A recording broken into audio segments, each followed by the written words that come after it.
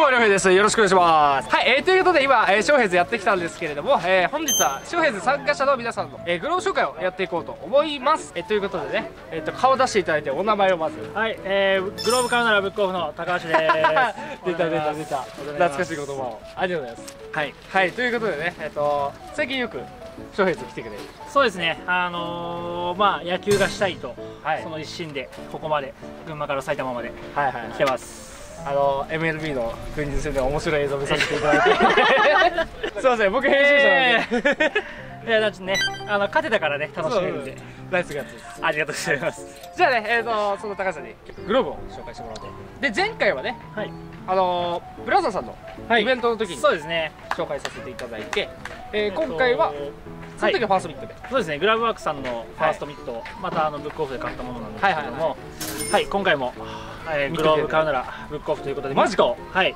おおですね。はい、えー、とこれがウィルソンのキャッチャーミットですね、はい、まあ、使っていてかなり、えーと、小回りが効いてて、うんうん、えーとまあ、軽いのでもともと内野出身の自分にとっては使いやすい、えーと、グラブになってます。ああ、なるほどです、ウィルソンのミットって確かに普通に売られてる新品のものも、結構小回り効くような、うん、芯がちょっと薄めかなっていうそうですね。だいぶ薄いのであのすごいなんていうんですかショートバウンドとかも、はいはいはい、あの体で止めるっていうよりも結構小回りでバックハンドとかでいっちゃうと、はい、できるのがすごくこれは強みなのかなと思いますね。ちょっといいですか？はいあのありがとうございます。キャッチャーですからね軽い。そうです。だいぶ軽いんですよ。すごく軽いんですよ。はめても大丈夫です。あ大丈夫ありがとうございます。やばいね。やばい。これはで面が広いですね。そうなんです。深くないだから。だから深くはなくて面が広い。浅くて広いっていう感じがしますね。でも多分元の作り的にはオーソドックスな作りなのかなっていう。はい。あれですか？これ自身ご自身で型直しとかされました？いやえっとブックオフで売ってた時はもうほとんど型がついてない状態だったのでまあもうまるっきり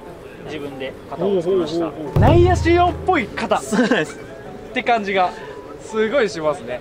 えっとまず思うのが普通にやってたら当て取りの面が広い内野仕様グローブをキャッチャーミットに変えたみたいな。そんな感じですそんな感じですもう。がします。なんで跳ねてもちょっと小指の方でも止められるっていう、うんうん、止めるだけだったらこっちでも使えるなっていう。はい、はい、そうバシッといける。し、こここれもいける。そうですね。あの引っ掛けてもいけるんで、うん、で軽い分操作がしやすいんで、はいはい、垂れずに手首が垂れずにも済むかなっていうのは思います。でこれ今こうやって見せてる時にあのこうやって無理やり立ててるんですけど、はい、それもしやすいですね。そうですねもうすごいあの手首もなんかやっぱ軽い分、うん、操作がやっぱ手首とかでもしやすいんではいはいはい、でやっぱりあの7回とか9回やってる時に疲れずに使え使えるのかなっていうのはすごくウィルソンのいいところですね。じゃあなんで今日キャッチャーやってくれなかったんですか？ああもうちょっともういるんで。おかしいでしょ。もう先頭がね いるんで。いやいやもっと上手い方が。じゃあちょっともうぜひ。はい。次も。ぜひ。そうですね。また他のイベントとかで僕らが行った時にも会えたりするかもしれないので、なんかブックオフでシールときますでブックオフいいのありますから、ね、はい、はい、ということでありがとうございました、はい、ありがとうございました。しますはい、えー、ということでお二人目に来ていただきました。お名前をお願いします。はい、えー、奥野翔太です。はい奥野さん。はい。お願いします。お願いします。で最近あのモンタナによく。そうですね来られてはい、はい、で帽子見てくださいよ。JR 東日本でよろしいでしょうか？そうですね。ああ軟式野球部ですけど。いやえぐいえぐい。えぐい。もうずっと都内一周回ってるから。山手線が。やばいっすね。ということで今日あのすごいピッチングをしていただいたんですけどまあね、えっと、それも、えー、前後にどうなってるか分かんないですけどあの動画出るので、はい、ぜひピッチングの方も皆さんチェックしてください。ということでね今回はまあグローブ紹介なので、ぜひ使ってるグローブポンはい。全然前出しちゃっていいです。僕体も前行っちゃっていいですよはい。はいはいはいはいはい。GS じゃないですか。GS ですね。の？これ公式っすか？軟式。軟式っすねなんかこれこだわりとかってありますか？こだわりはこのウェブの横の刺繍がオリジナル刺繍で入れてもらったんですけど。普通まあそうっすよね。そこにはラベルですもんねそうですね。ここにちょっとラベルずらしてもらって、はいはいはい、ここにあの自分の名前と選手番号が5番なんでオリジナルでつなげてもらってって感じで。なるほど。ちょっとそれも近くで、はい、まあ普通はここの刺繍のところにラベルがあって。これ無理だいぶ無理やりラベルつけましたね、ね、はい、手首のバンドのところを。やってもらいました。でオリジナル刺繍と、はい、カラーが本体ブラックの一部。ホワイトホワイトですね。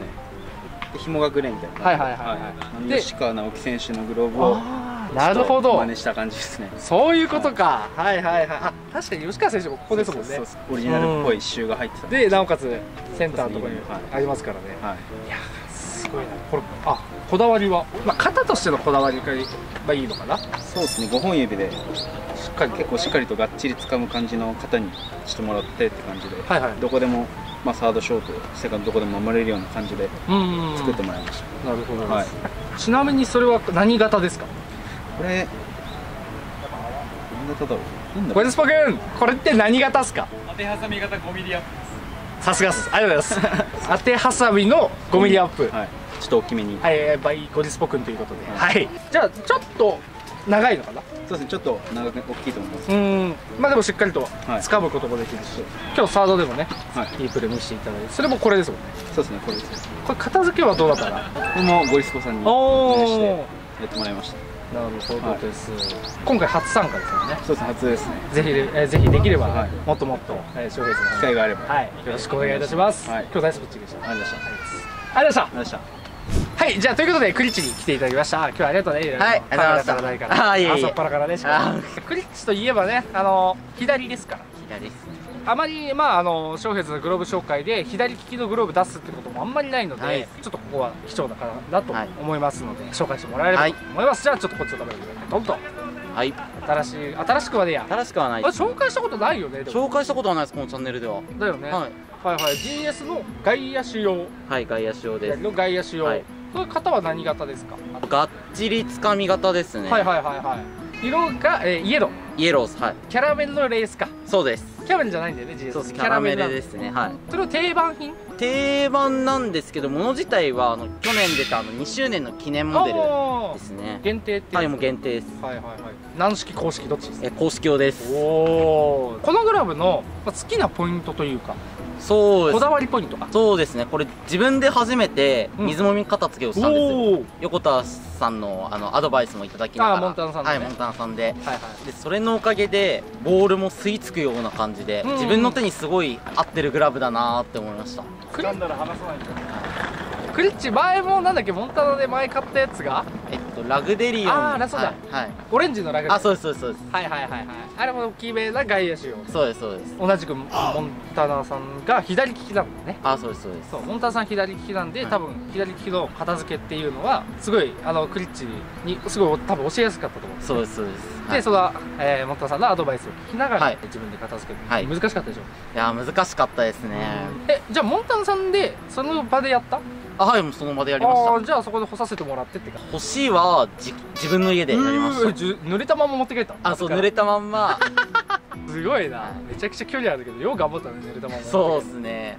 お気に入りポイントはやっぱ色ですかね。ああイエロー。はいライムイエローに近いよね。そうですそうです。あの昔なんか高校野球で流行った色で結構その世代の方からはすごい褒められますね。俺ら世代あそうなんですね。そう。田中将大投手とかが一時期使ってたりとか、はい、俺らで言うと俺ら中学校ぐらいの時に岸投手がね日本シリーズ出た時にまだ西武時代の時にナチュラルライブのグローブ使ってたりとかっていうのがあってあの時期すごい流行ってたので、そうですよね。確かに。おっていうふうには思う。今今ねこの色逆に本当に少ないから絶滅危惧種。そういうところを見ると、はい。おってなんだよ。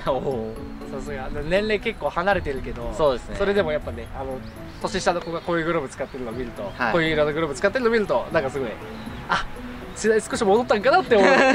いいなって。じゃあねえっ、ー、と今後ともずっとね翔平さんぜひ撮影の方に引き続き来てくれると嬉しいです。はい頑張ります、はい、ありがとうございます。ありがとうはいじゃあ最後ね。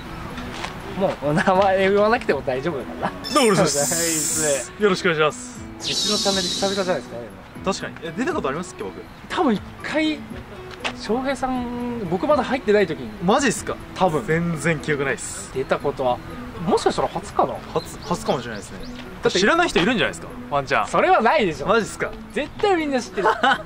でまずそもそも僕らが GS ユーザーですから。ああ本当っすね。今日はね生みの親に来ていただきました、はい、ありがとうございます、はい、お呼びいただきありがとうございます。でもぜひ出てほしいと。いやさっきから見てましたけどなんか GS の回しもんみたいな人がいっぱいいましたけど。いや違う違う。やらせじゃないですからね本当に。それだけ広がってるってことあ確かに確かにいいように言ってくれますねさすが。違う違うだ俺だってね、はい、たくさん GS の良さ あの作って分かったよ。ああじゃあ年末もお待ちして お腹痛い。大丈夫ですか？じゃあね SNS でも、はい、YouTube でも話題沸騰中の新しいグローブを、はい、ドンと紹介してもらえればと思います。こちらがカエルグローブです！やばいめっちゃ泣いてる。ゲコゲコゲコゲコゲコバル聞こえますね。ゲコゲコ聞こえますね。裏川流れてるからね。はい。やばいなこれ。この色やばいでしょ。ほら。だからタメーカーじゃない色ですよね。これないんですよ。バウアーが使ってるような感じのはあるけどそうなん、ね、似たようなのはあるけど。なんかね Z とか、はいはい、SSK さんとか、うん、結構限定でこういうミント系のカラー出してるんですけど、はいはいはい、ちょっと違うんですよ。ちょっとちょっと淡い淡いっていうかそうですね、うん、濃すぎない色だから芝生置いといても分かるぐらいのちょっと色の違いみたいな。そうなんですよ。だから芝生より目立つっていうのが あのこれの良さです。なんか若干若干蛍光を混ぜたっぽい色いや違うな。なんつったらいいんだ。難しいな。分かんないですけどまあカエルっていうふうに名付けました、うん、あの本当にカエルだもんね、はい、これがウェブが、はい、なんつったらいいんだ何でしたっけ？これはねあの GS やダブルクロスって言ってます。はいはい。なんか松井秀喜選手も一時期似たようなのを使ってました、ね、そうですね。まあ最近メジャーリーガーでもちょっと多いかなっていったような。そうですね。クリッチ君のグラブは、まあ網網だったんですけど、はい、まあ、僕はこれしか使わないです。おお、はい、こんな感じのねウェブなんですけど。その理由は？これね外野の人だったら分かると思うんですけど収まりがとにかくいいんですよ。ああはいはいはい、はい、ボールが入った感覚が手に伝わってきますこっちの方。なるほどなるほど。網網だったらあれ取ったかなみたいな。ああちょっと、うん、押されるっていうかそう。なんか網は網でクッションがあるせいで。そう。なんでこれ取ってるのかな取ってる取ってないのか分かんなくなるんで、はいはいはい、こっちの方がしっかりガチッとはまるし、はい、ウェブが伸びきらないんですよね。うんだからこのこのバランス。ずっとこのバランスで使えるんですよこれは。なるほどなるほど、はい、しかも修理もしやすい。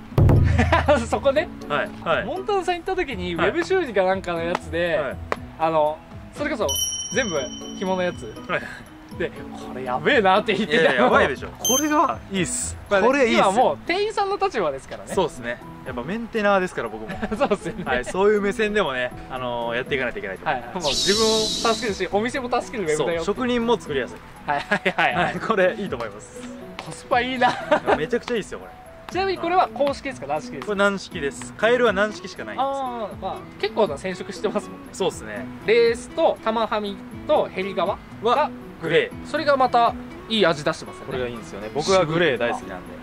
グレー合わせるようにしてるんですけど、なんとカエル販売開始してからまだ12か月しか経ってないんですけど、はいはい、もう30個以上オーダー来てます。やばいよな。はい。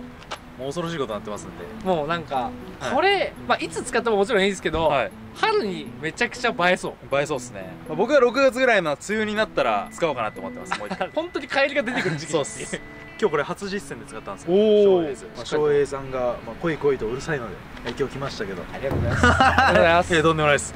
冗談です冗談です。それでねとんでもないホームラン打っちゃってね。あそうですね。やらせホームランしました。いやいやこれはまあ動画また別ですよね。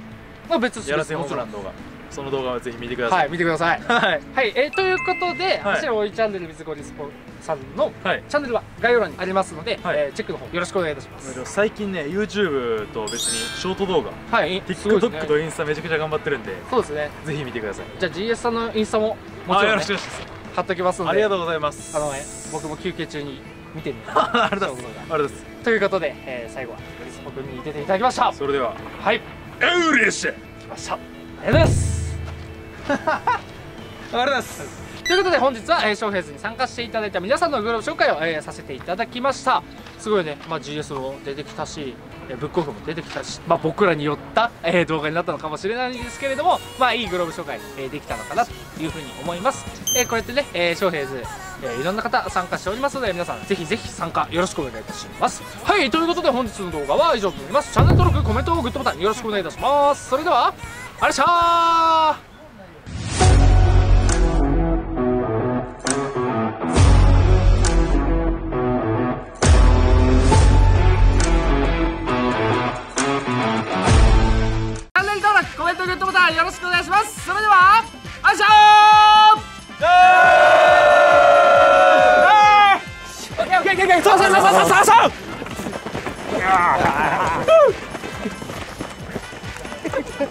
翔平 TV2022 年 T シャツ販売1万人突破皆さん本当にありがとうございます。